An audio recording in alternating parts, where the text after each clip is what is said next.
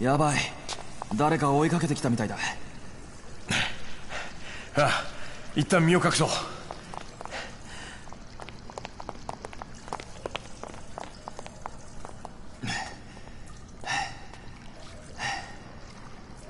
どうやらすぐそばまでやってきてるな。ああ上野の連中かもしれない。ここは俺らで食い止めるしかないだろうな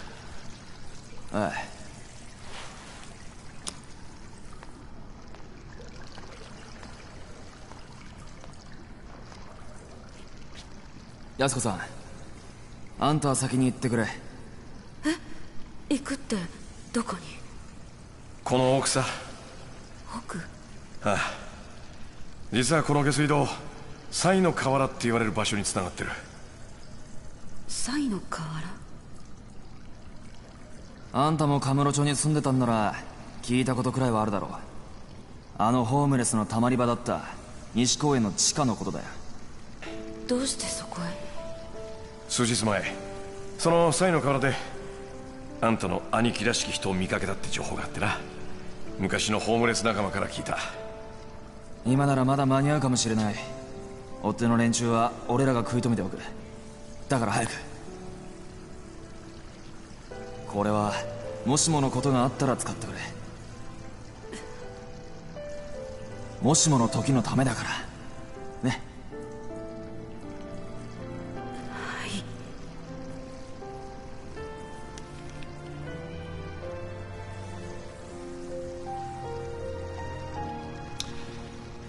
それじゃ。あの。秋山さんも谷村さんも。気をつけて。あ。あそれじゃ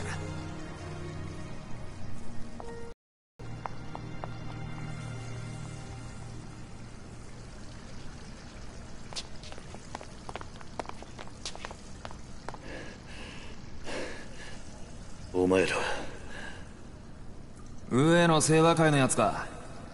それとも宗像の使いのやつか。何を言ってるんだ。あの女をどこにやった。リリちゃんならとっくに行っちゃったよ。何？おっとダメだよ。これ以上先には行かせないよ。安子さんには指一本触れさせない。さっきから何を言ってるんだ。俺はあの女を守る必要があるんだお前らに用はない。守る？なんだそりゃ。誘拐するじゃないの？それはお前らの方だろ。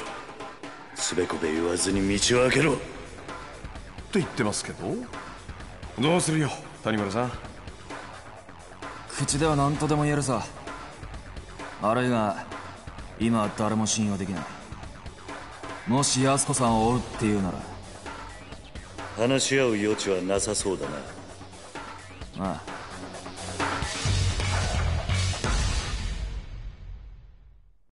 説明は後回しだ。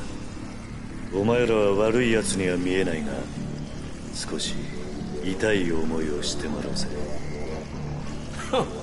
言うね。さあこっちはいつでもいいぜ覚悟はいいな行くぞ。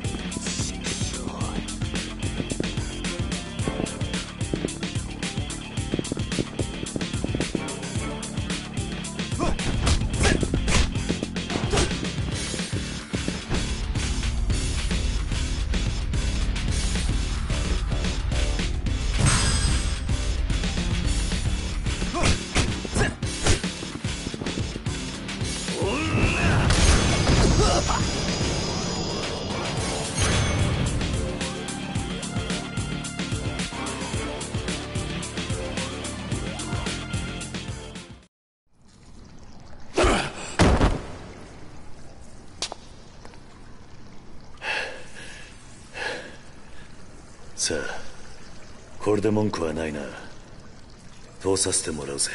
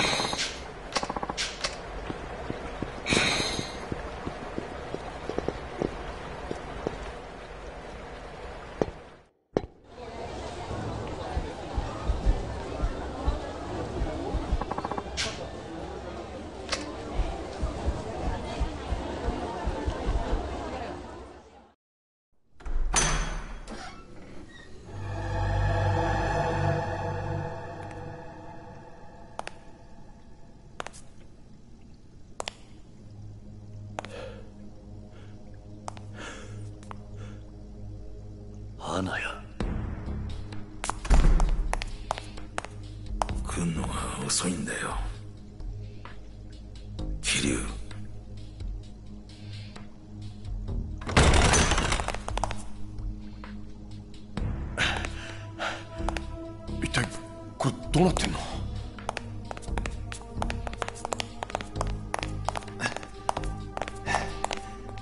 安子さんは？連れて行かれちまったよ。誰にだ？桂木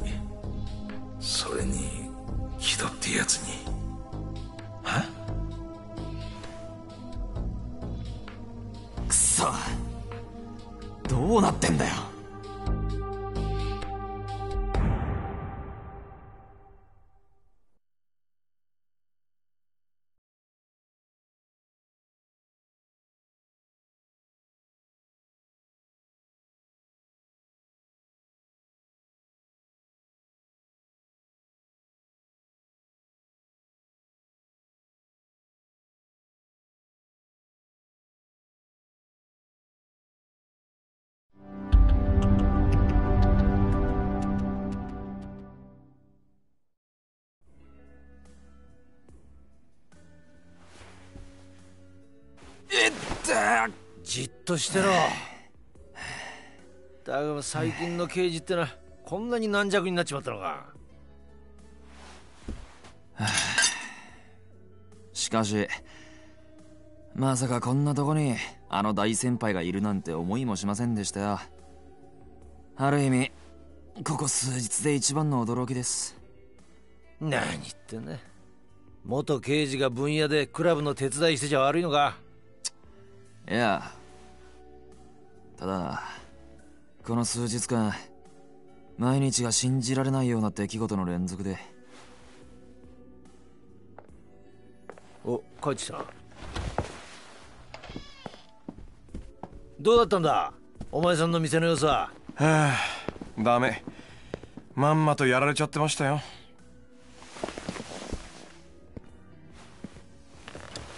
ああせっかくコツコツ貯めた金だったのにな。これじゃあまた一からやり直しだっての。やっぱり金盗まれてたのか？ええ。綺麗さっぱり。いくらぐらいだ？1000億。はあ？1000億？本当なのか？ああ。俺も最初は信じられなかったがどうやら本当らしいどういうことなんですか？秋山さん。うん。いやね。実は俺の店でっかい隠し金庫持っていてね。そこに入れておいた店の金が全部持っていかれちゃってたのよ。誰に？検察？っていうか多分木戸ちゃんに。え？木戸ってあの新井の兄弟分のあの？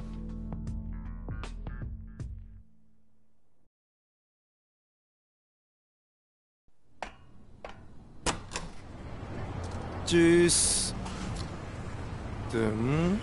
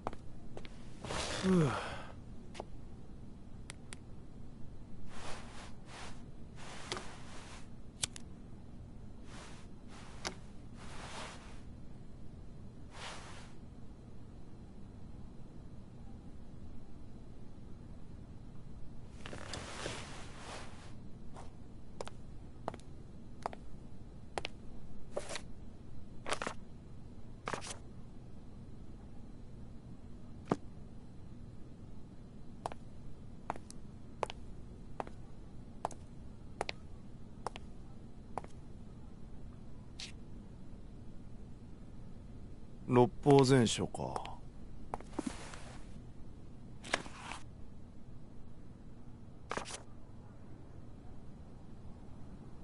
やっぱ秋山さん頭いいんだな。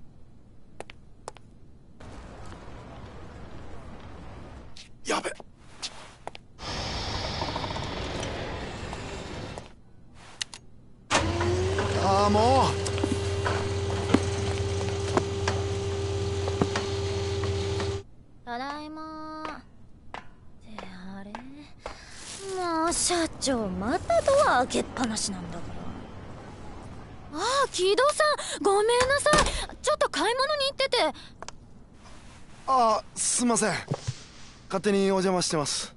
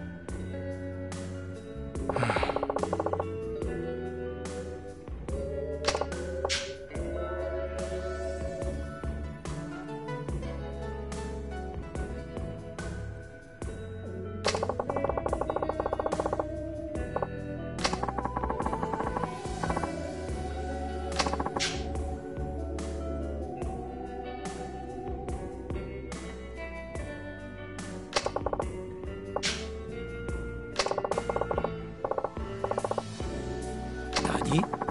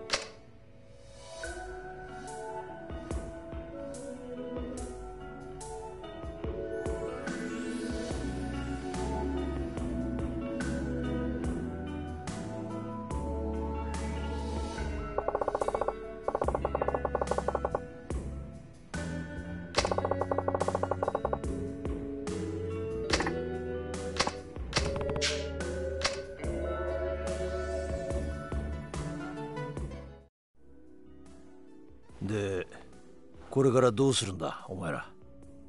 冴島と安子を取り戻すつもりなのか？ああそれしかないだろうな。だがどうすればいいんだ？金はすでに葛城の元にある。やはり奴らの居場所を探して直接攻め込むしかないのか？いや策はある。こ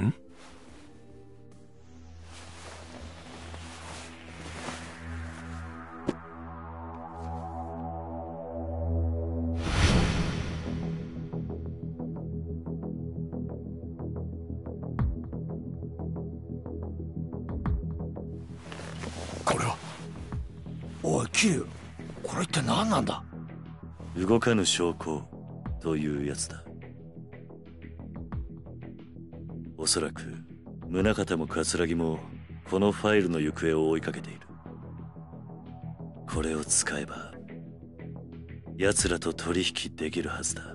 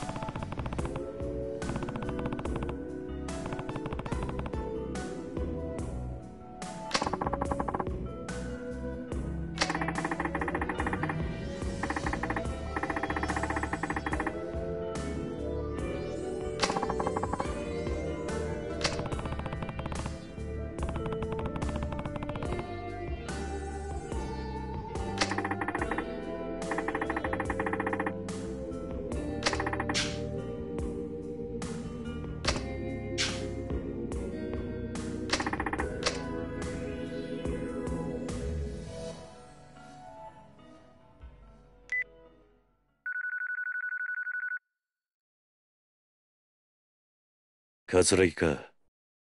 俺は桐生ってものだ。今訳あって、谷村の電話を借りてお前に電話している。桐生？まさかあの四代目の桐生一馬さんですか？そうだ。これはこれは驚きです。それで私に何か用でも？冴島大河と安子のことだ。さあ、何の話だか。とぼけるな。お前が西の河原から連れ去ったということは分かってるんだ。それがどうした？お前と取引がしたい。お前が今一番欲しがっているはずのものが、今俺の手元にある。冴島が浜崎と脱獄した際手に入れた例のファイルだ。お前が手に入れたいものというのは、これなんじゃないのか？違うというのなら構わない。この話は忘れてくれ。それじゃ。待て。どうしてお前がそのファイルを持ってる？受け取った。沖縄で浜崎から直接な。そのことを知っているのは？俺と浜崎。あとは今、俺の周りにいる人間だけだ。宗方は知らないんだろうな。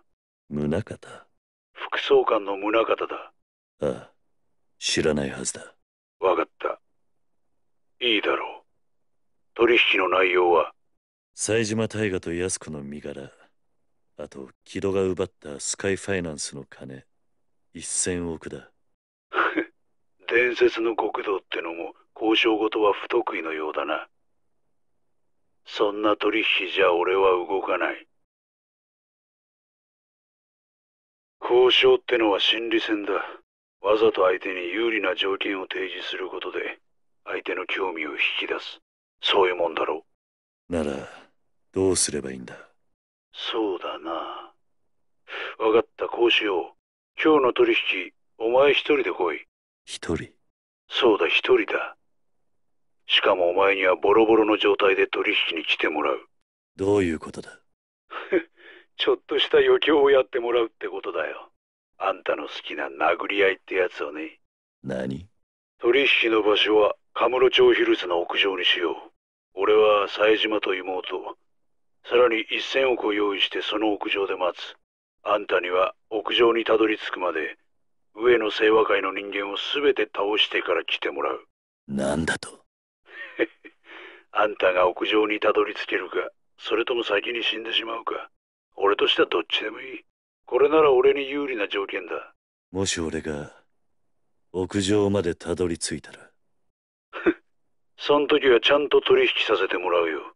ただ、たとえそうなってもあんたにはもう俺を殺す余力は残ってないはずだ。それなら俺も安心だ。分かってくれよ、桐生さん。俺もさ、長生きしたいんだよ。あんたや冴島みたいな化け物、二人も相手してじゃ、命がいくらあっても足りない。世の中には、錦山や合田隆二みたいな、今まであんたが相手にしてきた男気あふれる極道じゃない人間もいるんだよ。さあ、どうする？わかった。行こう。何時に行けばいい？夜22時だ。俺も死体じゃない生きたあんたに会えることを楽しみに待ってるよ。それじゃ。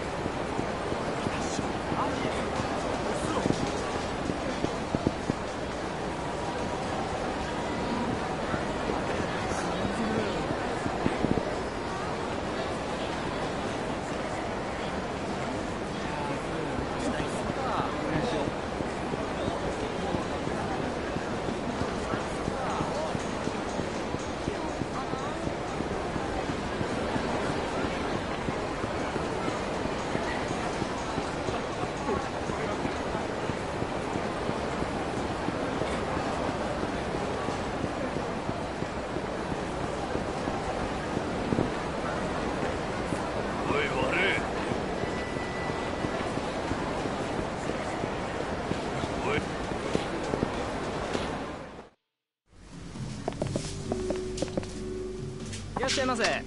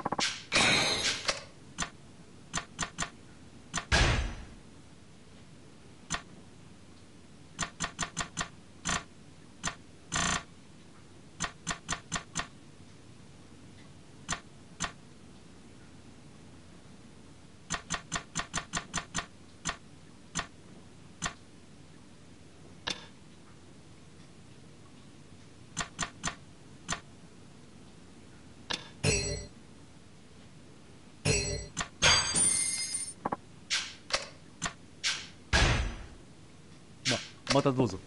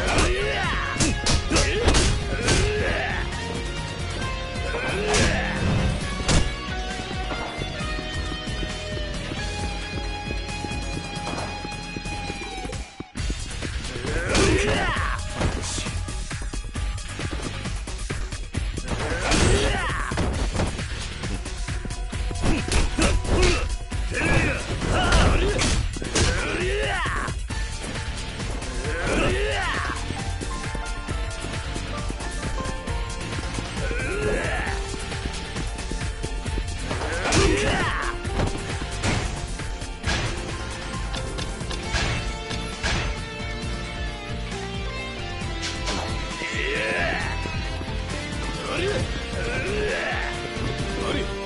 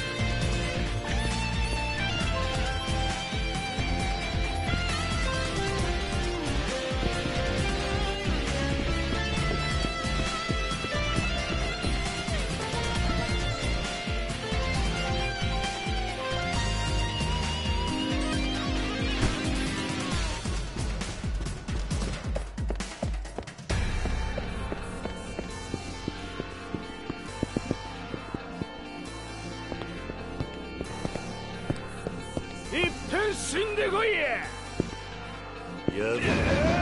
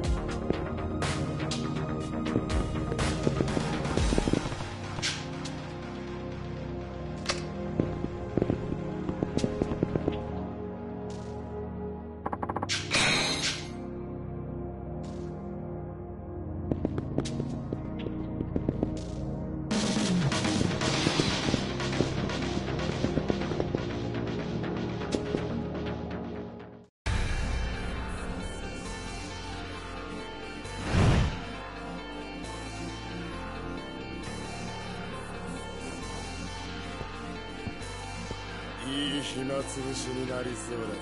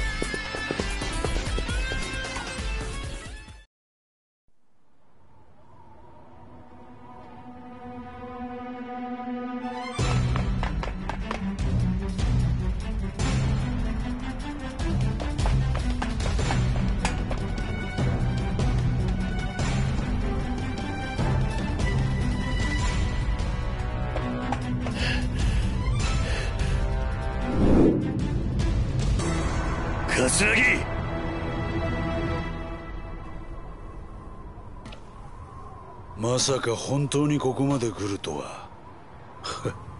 伝説の極道ってのはこういうもんなのか。ゲームは終わりだ。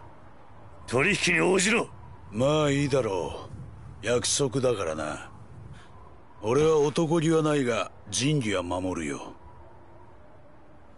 お前が欲しがっているファイルだ。早くその二人と一千億を渡せ。まあ焦るな一千億なんて大金そうそう簡単に運べるもんじゃない。そろそろここに届くはずだ。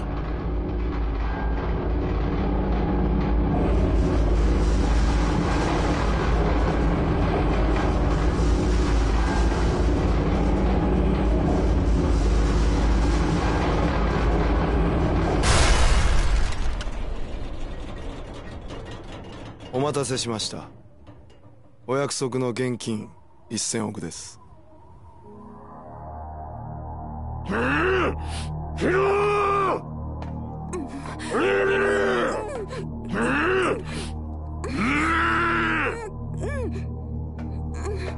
お前がヒドか。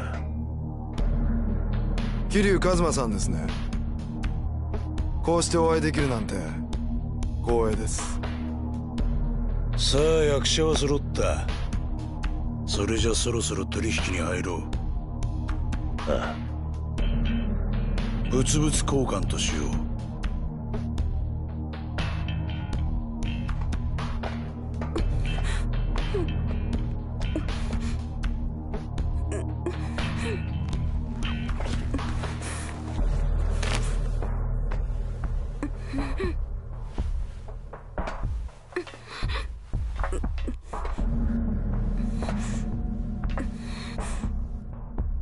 ずは冴島康子からだ。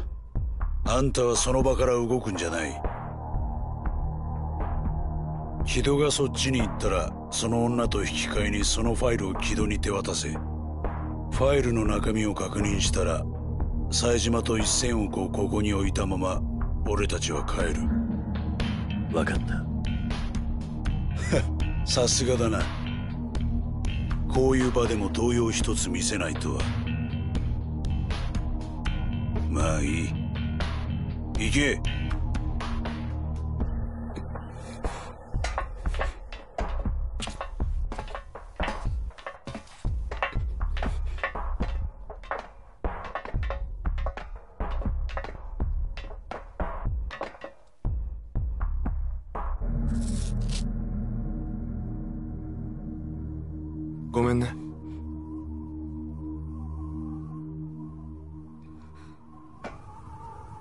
イルを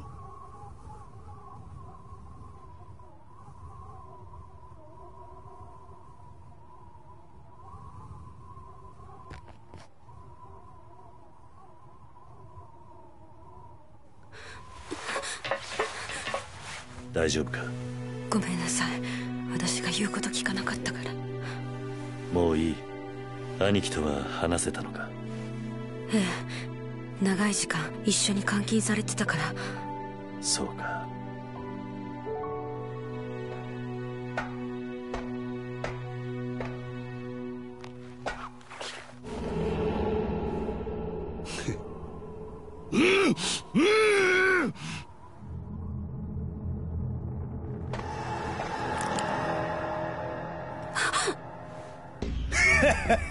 おめでたい奴らだまさか本当に生きてここから帰れると思っていたのか？あ桂木木戸撃て！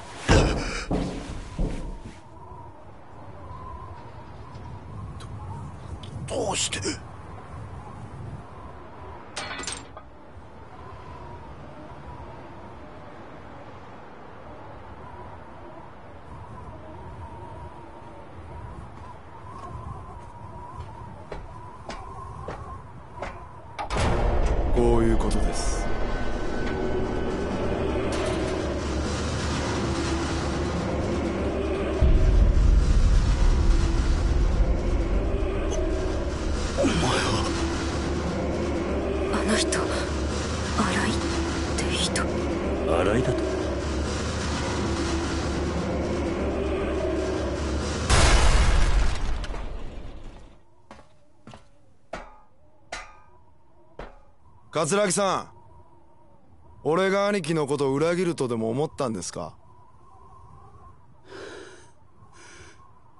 兄貴これを。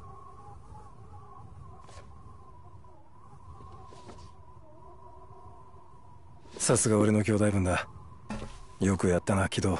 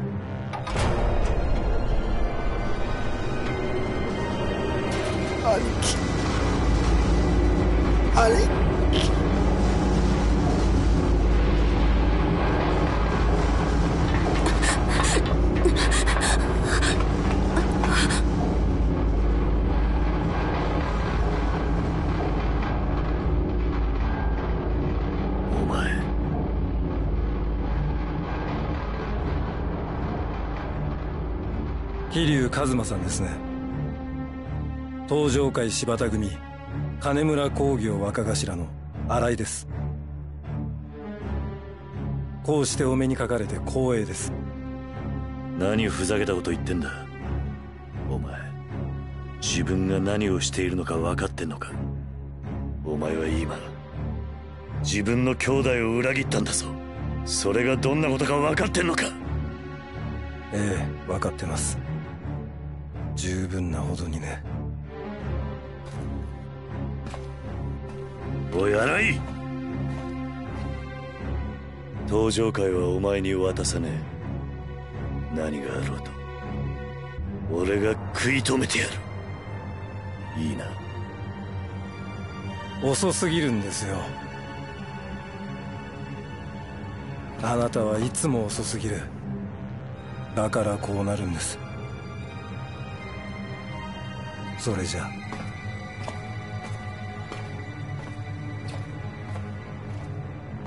お兄ちゃん。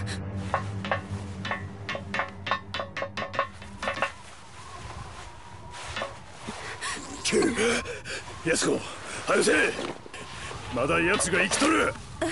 桂木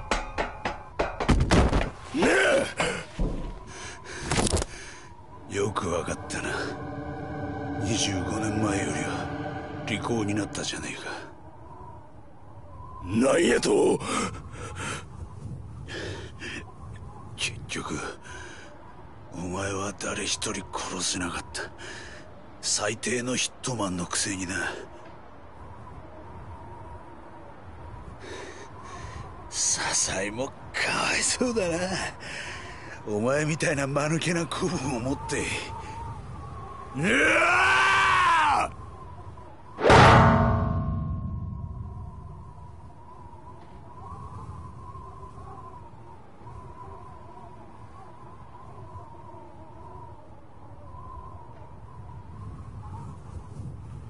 会えたわ。お前のようなカス殺す気もせん。一生そこで寝てろや。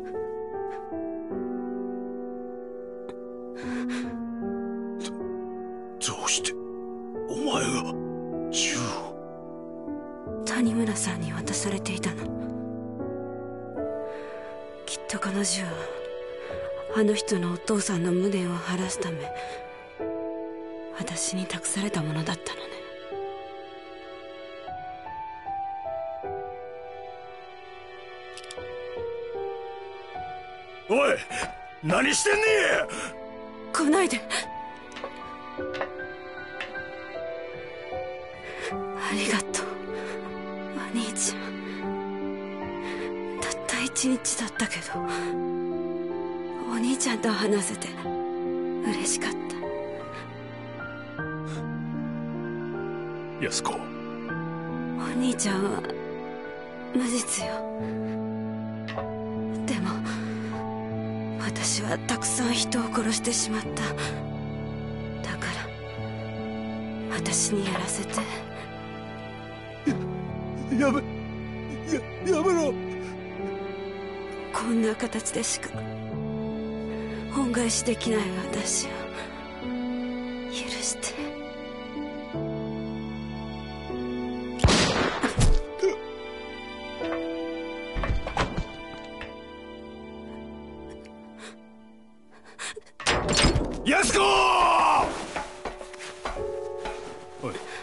やすこやすこ返事してくれや！おい！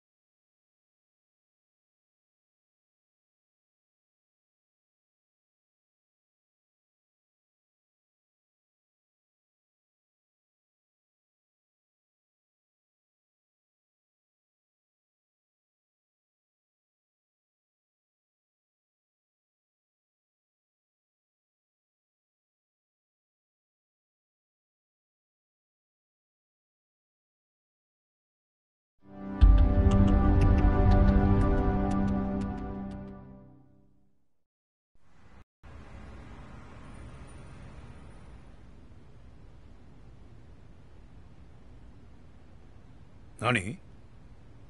殺し損ねただと？君らしくない失態だな。申し訳ありません。さすがの君でも情で手元が狂ったというのか。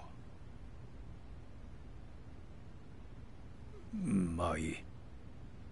木戸とかいうチンピラが一人生きていたとこで大した問題じゃない。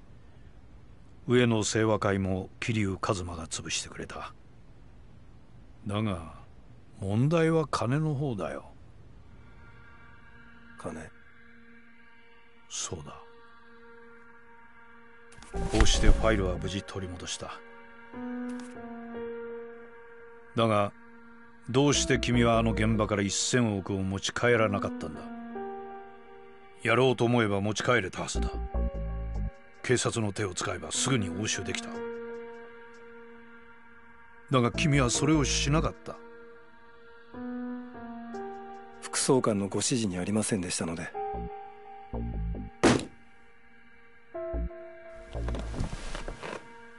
困るんだよそれじゃ。いいか？君はこれから私と手を組んで裏社会を取り仕切る人間なんだ。そんな人間が出生不明の1000億という金を目の前に手ぶらで帰ってくるようでは話にならん。もっと起点を聞かせてくれ。理想のためにはまだまだ金がかかるんだ。それぐらい君も分かっているだろう。はい。分かればいい。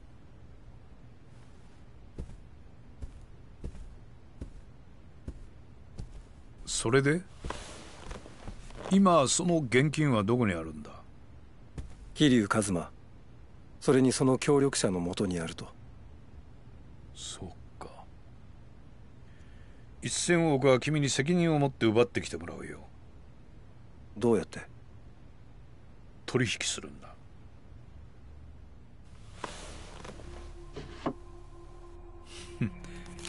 人間誰しも弱みというものはあるものだ。沖縄に行ってこの子供たちを連れてきなさい。そうすればあの桐生という男は取引に応じるはずだ。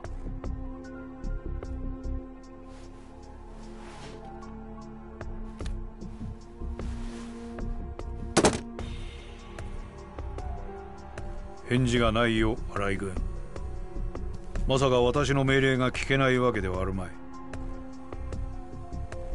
はい。万が一高速に手間取るようならこの銃を使いなさい。これならば足がつくことはない。いいね。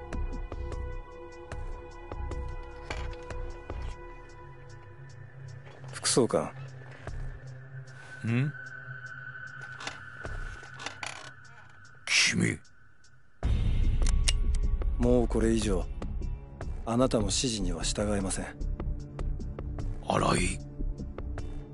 私にも極道として。いや警察官としての信念がありますから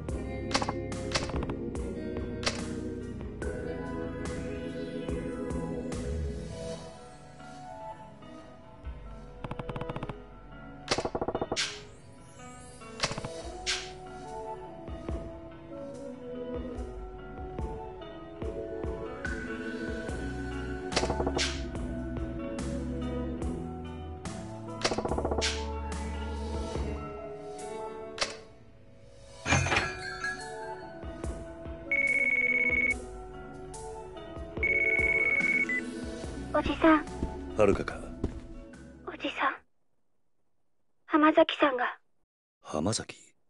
浜崎がどうした？ついさっき亡くなっちゃった。病院で。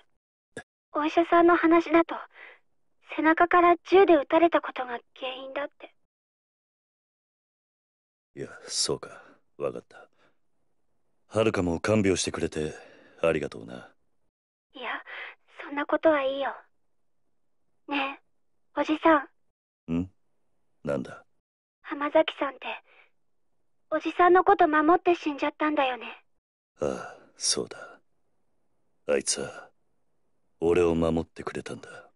私あの浜崎っておじさんのこと勘違いしてた。そうか。浜崎さん亡くなる少し前に私に話してくれたの。警察から登場会を守ってくれ。登場会は俺たちの生きた証だって言ってた。おじさんと冴島さんにもこのこと伝えてくれって。わかった。ちゃんと伝えてくれてありがとうな。うん。それで浜崎の遺体は？朝顔の方で一旦引き取ることにした。それでよかった？ああそれでいい。すまなかったな。いろいろ面倒かけて大丈夫。心配しないで。もうすぐしたら沖縄に帰れると思う。俺が帰ったら供養してやるつもりだ。うん。それじゃあ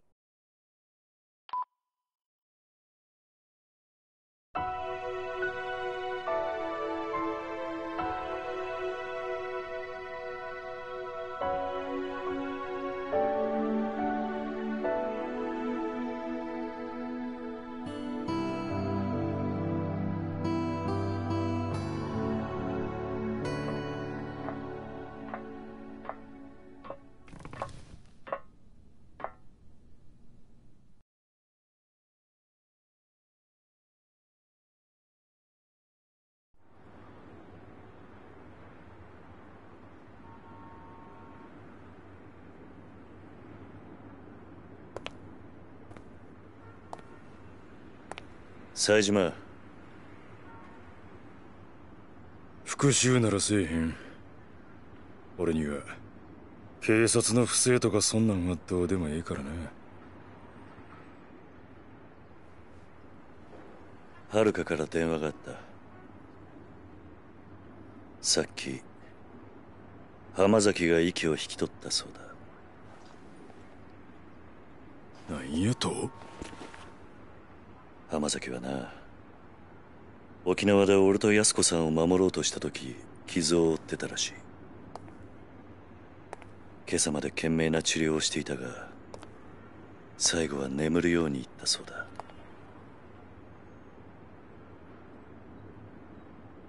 お前に遥から伝言だ。浜崎は死の間際こう言ったらしい。警察から登場会を守ってくれと。登場会は俺たちの生きた証だ。とな？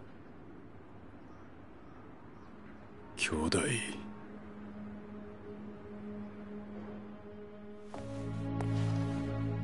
40年も生きてやっと分かった。俺もあんたも自分に正直に生きてはならない人間なんだ。常に人から何かを託され常に何かを守らなきゃならない。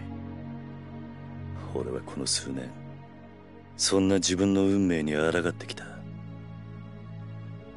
だがもうそろそろ抗うのをやめようと思う。飛竜やるしかねえんだよ俺たちは。いろんな人間の夢を叶えるためになそうだ。俺らはまだやらなきゃならないことがあるんだ。ボスザルは猿山にいてこそふさわしい。ここにいる全員まだやり残してることがあるんじゃないですかね。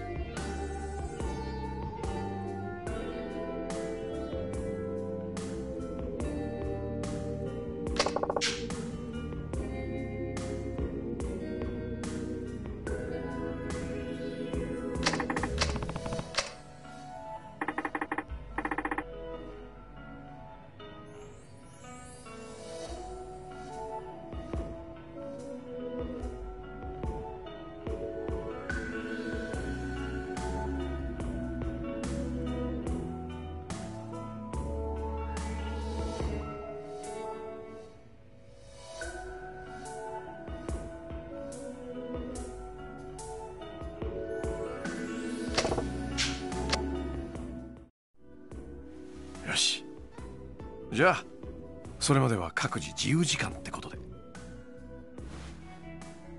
え？こういうのやめません。ちょっと古臭いし。いいからいいから。こういうの大事なんだって。さ手出して。わかりましたよあ？沢島さん？軽い感じで話しちゃいましたけど一歩間違えば普通に死ぬかもしれない賭けだ。覚悟はできてますね。